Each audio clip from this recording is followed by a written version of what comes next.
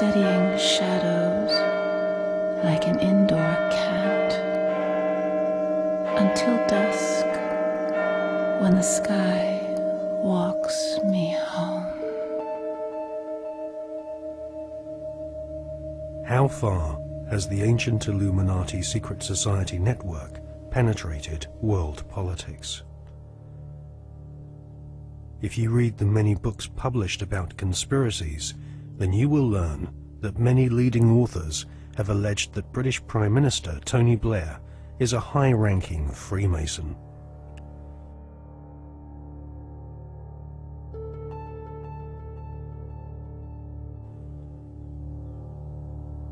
Mr. Blair is a Queen's Counsel barrister, a profession which has its roots in the Temple Bar, built in London by the Knights Templar secret society in the 12th century.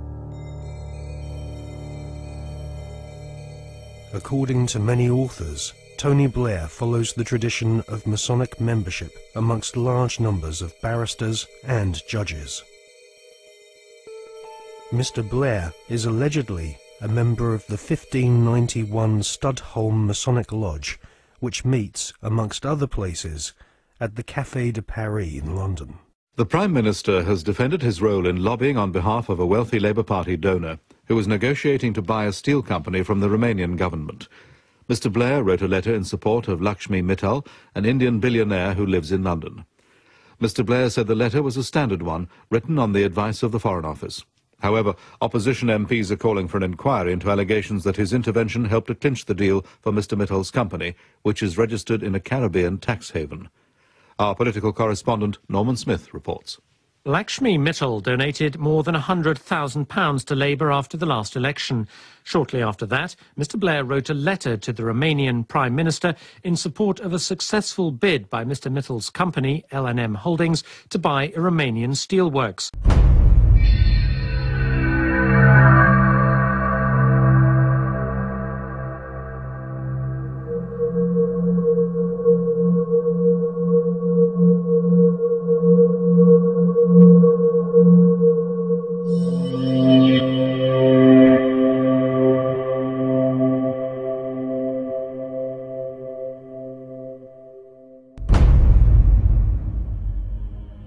Retired solicitor once described barristers like Tony Blair as highly paid professional liars. So it is unlikely that Tony Blair will ever come clean about his membership of a secret society. However, one thing we can be sure about. The Masonic establishment at the heart of British society does not like being probed or investigated when it comes to matters of Masonic membership. A recent Select Committee inquiry chaired by Labour MP Chris Mullins found that the Metropolitan Police Force and Judiciary were unwilling to force their members to disclose if they were members of secret societies.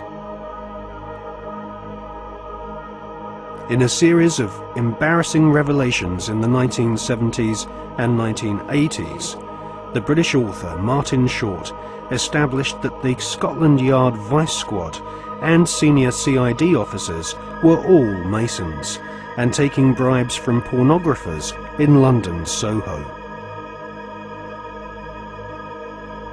Martin Short estimates that one in six British police officers are Masons and that there are approximately 600,000 Freemasons in Britain today.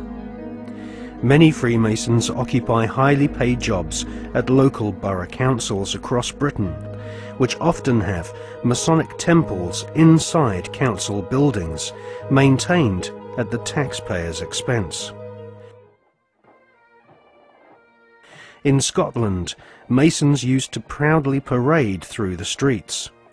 After the exposure of local authority frauds involving corrupt Masonic solicitors and councillors, British Freemasons went underground and now rarely march in view of the public. The public image of British Freemasonry has been damaged by the revelation that supercriminal Kenneth Noye and the men responsible for the Brink's-Mat gold bullion robbery were all Masons. As Prime Minister, Tony Blair has frequent meetings with the Queen. She herself is Grand Patroness of International World Freemasonry, which has its Grand Lodge of England headquarters near Drury Lane in London. The British government employs a huge number of civil servants, magistrates, judges, solicitors and officials, which have all historically been Freemasons. The deceased author of The Brotherhood, Stephen Knight, says that penetration of Freemasonry into the British establishment goes way beyond policemen and parish councils. Knight says that the Palace of Westminster, home to the British Parliament, is used as a meeting place for at least two Masonic lodges. One of these lodges is called the New Welcome Masonic Lodge, which regularly hosts blood-curdling rituals and ceremonies inside the Palace of Westminster. Members of Parliament from all political parties gather together wearing white gloves, sashes, lambskin aprons and wielding ceremonial daggers, swearing bloodthirsty oaths of allegiance to each other. Just where this leaves British democracy is anyone's guess. But the fact that these secret ceremonies take place in a building paid for by the British taxpayer leaves one wondering if Freemasons do not see themselves as superior to the average British citizen. Many researchers claim British Prime Minister Tony Blair is a high-ranking 33rd degree Freemason. This is the highest rank of Mason, and this elite cabal of British Freemasonry has its own headquarters at number 10 Duke Street, which some claim is connected to number 10 Downing Street via a secret underground tunnel.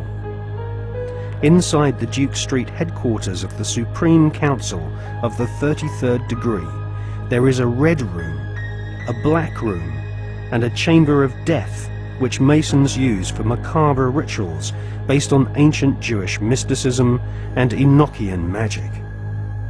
Once initiated into the 33rd degree, Masons are told they are superior beings, and the human population are referred to as being profane goyim, which means cattle.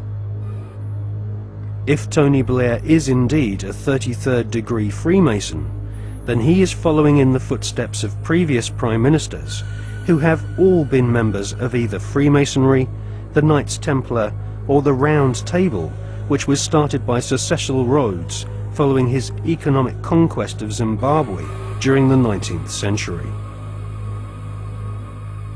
Winston Churchill was also a 33rd degree Freemason, initiated into the Studholme Lodge at the headquarters of the 33rd degree in May 1901.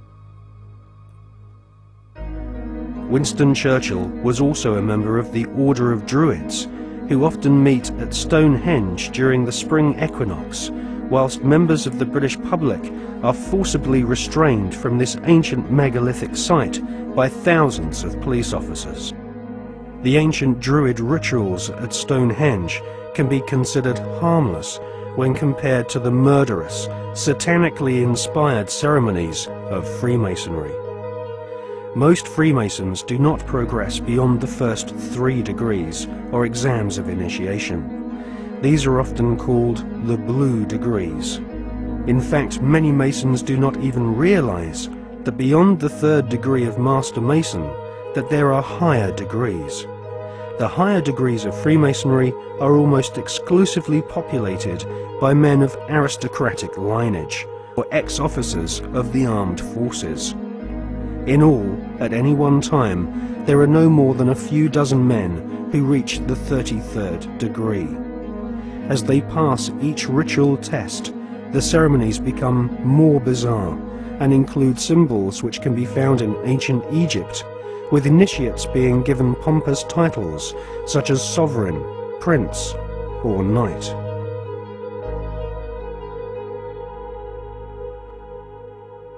When we see Tony Blair meeting with George Bush Jr., we are actually